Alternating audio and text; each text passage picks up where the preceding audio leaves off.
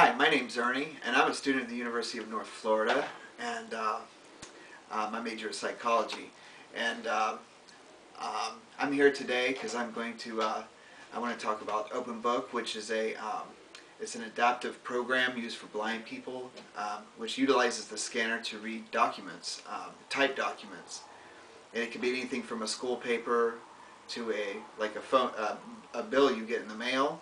Um, you just uh, stick it under your scanner and it'll read it to you.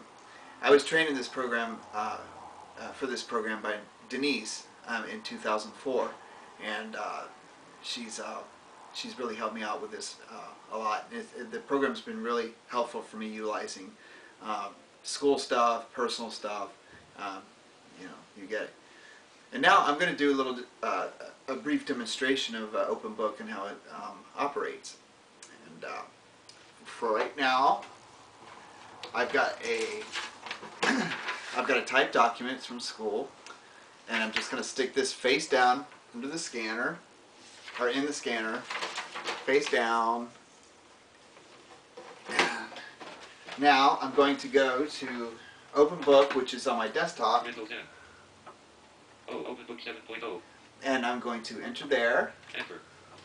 And this is taking a few minutes to kick in a little bit.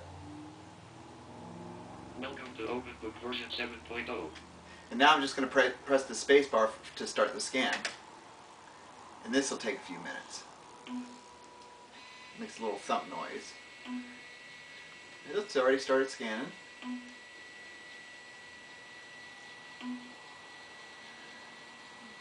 There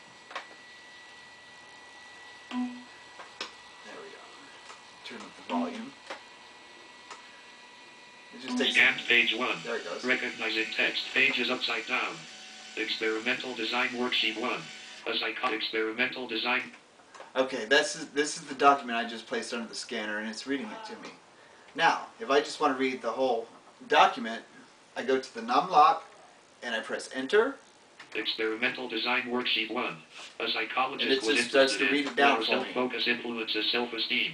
He randomly assigned Now, if you want to stop it, you just press the control bar. Now, if you just want to go line by line, the people in this study sit in a small room in front of a full-length mirror so they would see themselves and me.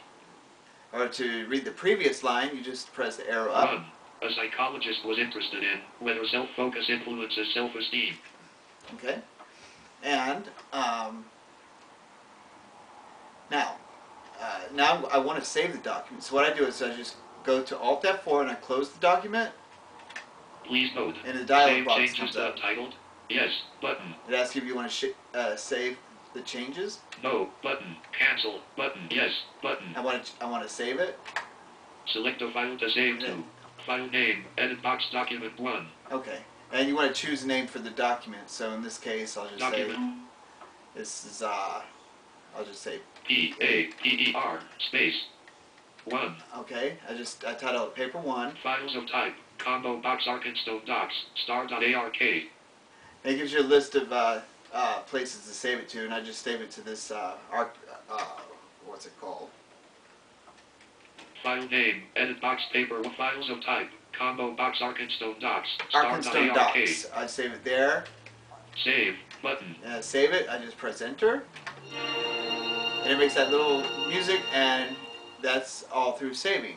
And like I said, this can be really helpful. Um, it's helped me out with school, and sometimes it's just uh, letters I get in the mail, like bills and that kind of thing. I can stick it on there uh, using the scanner. And um, thank you.